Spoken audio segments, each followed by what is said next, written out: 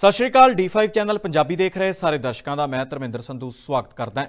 ਇਸ ਵੇਲੇ ਦੀ ਵੱਡੀ ਤੇ ਅਹਿਮ ਖਬਰ, ਕਾਂਗਰਸੀ ਆਗੂ ਤੇ ਸਾਬਕਾ ਕਾਂਗਰਸੀ ਮੰਤਰੀ ਬਲਬੀਰ ਸਿੰਘ ਸਿੱਧੂ ਨਾਲ ਜੁੜੀ ਹੋਈ ਸਾਹਮਣੇ ਆ ਰਹੀ ਹੈ। ਬਲਬੀਰ ਸਿੰਘ ਸਿੱਧੂ ਦੀਆਂ ਮੁਸ਼ਕਲਾਂ ਵੱਧਦੀਆਂ ਹੋਈਆਂ ਨਜ਼ਰ ਆ ਰਹੀਆਂ ਨੇ। ਵਿਜੀਲੈਂਸ ਵਿਭਾਗ ਨੇ ਉਹਨਾਂ ਦੇ ਖਿਲਾਫ ਜਾਂਚ ਸ਼ੁਰੂ ਕਰ ਦਿੱਤੀ ਹੈ। ਮਾਮਲਾ ਜੁੜਿਆ ਹੋਇਆ ਹੈ ਆਮਦਨ ਤੋਂ ਵੱਧ ਜਾਇਦਾਦ ਬਣਾਉਣ ਦਾ।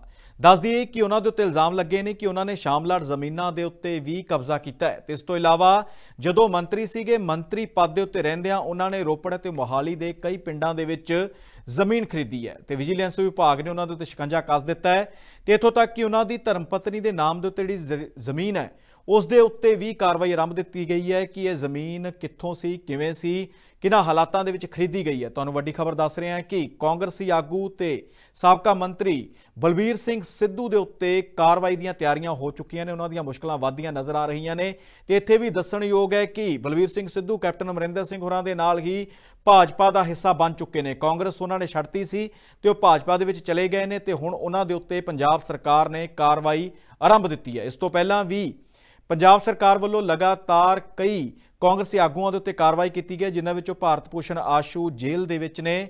ਸਾਧੂ ਸਿੰਘ ਧਰਮਸੋਤ ਵੀ ਜੇਲ੍ਹ ਜਾ ਕੇ ਵਾਪਸ ਆ ਚੁੱਕੇ ਨੇ ਤੇ ਇਸ ਤੋਂ ਇਲਾਵਾ ਸੰਗਤ ਸਿੰਘ ਗਿਲਜੀਆਂ ਦੇ ਉੱਤੇ ਵੀ ਤਲਵਾਰ ਲਟਕੀ ਹੋਈ ਸੀ ਤੇ ਹੋਰ ਵੀ ਕਈ ਕਾਂਗਰਸੀ ਨਾਮ ਨੇ ਜਿਨ੍ਹਾਂ ਦੇ ਉੱਤੇ ਲਗਾਤਾਰ ਕਾਰਵਾਈਆਂ ਹੋ ਰਹੀਆਂ ਨੇ ਤੇ ਖਾਸ ਤੌਰ ਦੇ ਉੱਤੇ ਚਰਨਜੀਤ ਸਿੰਘ ਚੰਨੀ, ਸਾਬਕਾ ਮੁੱਖ ਮੰਤਰੀ ਪੰਜਾਬ, ਉਹ ਵੀ ਜਦੋਂ ਦੇ ਵਿਦੇਸ਼ ਤੋਂ ਪਰਤੇ ਨੇ ਉਦੋਂ ਤੋਂ ਹੀ ਸਰਕਾਰ ਦੇ ਨਿਸ਼ਾਨੇ ਦੇ ਉੱਤੇ ਨੇ ਤੇ ਉਹਨਾਂ ਦੇ ਉੱਤੇ ਵੀ ਕਈ ਤਰ੍ਹਾਂ ਦੇ ਇਲਜ਼ਾਮ ਲੱਗ ਰਹੇ ਨੇ ਤੇ ਹੁਣ ਪਿੱਛੇ ਜੇ ਇੱਕ ਬਿੱਲ ਵੀ ਸਾਹਮਣੇ ਆਇਆ, ਇੱਕ ਡਿਟੇਲ ਵੀ ਸਾਹਮਣੇ ਆਈ ਹੈ, ਜਿਹਦੇ ਵਿੱਚ ਉਹਨਾਂ ਨੇ ਲੱਖਾਂ ਰੁਪਈਆਂ ਦਾ ਜਿਹੜਾ ਖਾਣਾ ਉਹਨਾਂ ਦੇ ਖਾਤੇ ਦੇ ਵਿੱਚ ਪਾ ਦਿੱਤਾ ਗਿਆ ਕਿ ਉਹਨਾਂ ਨੇ ਖਾਧਾ ਹੈ। ਜਦ ਕਿ ਚਰਨਜੀਤ ਸਿੰਘ ਚੰਨੀ ਉਹਦੇ ਉੱਤੇ ਆਪਣਾ ਪ੍ਰਤੀਕਰਮ ਦੇ ਚੁੱਕੇ ਨੇ, ਕਹਿੰਦੇ ਨੇ, ਮੈਨੂੰ ਪੰਜਾਬ ਸਰਕਾਰ ਜੇਲ੍ਹ ਦੇ ਅੰਦਰ ਸੁੱਟਣਾ ਚਾਹੁੰਦੀ ਹੈ।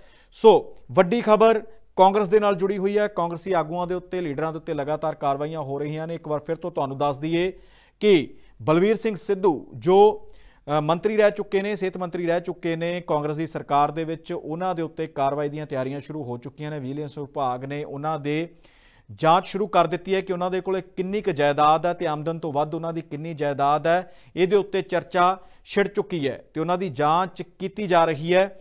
ਜਿਵੇਂ ਕੋਈ ਤੱਥ ਨਿਕਲ ਕੇ ਸਾਹਮਣੇ ਆਏਗਾ, ਅਸੀਂ ਤੁਹਾਡੇ ਸਾਹਮਣੇ ਲੈ ਕੇ ਫਿਰ ਰੂਬਰੂ ਹੋਵਾਂਗੇ। ਕੈਮਰਾਮੈਨ ਸ਼ੰਕਰ ਦੇ ਨਾਲ, ਮੈਂ ਧਰਮਿੰਦਰ ਸੰਧੂ, ਜੁੜੇ ਰਹੋ D5 ਚੈਨਲ ਪੰਜਾਬੀ ਦੇ ਨਾਲ। ਹੋਏਗੀ ਕਿਸਾਨਾਂ ਦੀ ਗੱਲ, ਨਵੀਂ ਖੇਤੀ ਮਸ਼ੀਨਾਂ, ਬੀਜਾਂ ਤੇ ਬਾਗਾਂ ਦੀ ਗੱਲ। ਲੈ ਕੇ ਚੱਲਾਂਗੇ ਤੁਹਾਨੂੰ ਰੰਗਲੇ ਪੰਜਾਬ ਦੇ ਖੇਤਾਂ ਵੱਲ। ਦੇਖਣਾ ਨਾ ਭੁੱਲਣਾ ਸਾਡਾ ਖਾਸ program farming with Amarjit Waraich. ਸੋਮਵਾਰ ਤੋਂ ਸ਼ੁੱਕਰਵਾਰ ਸਵੇਰੇ 7:30 ਵਜੇ D5 ਚੈਨਲ ਪੰਜਾਬੀ ਤੇ। ਕੀ ਹੁੰਦੀ ਹੈ ਜਮਾਬੰਦੀ? ਕਿਵੇਂ ਬਣਦੀ ਹੈ ਵਸੀਅਤ? ਜ਼ਮੀਨ ਜਾਇਦਾਦ ਦੇ ਹਰ ਮਸਲੇ ਤੇ ਕਰਾਂਗੇ ਚਰਚਾ।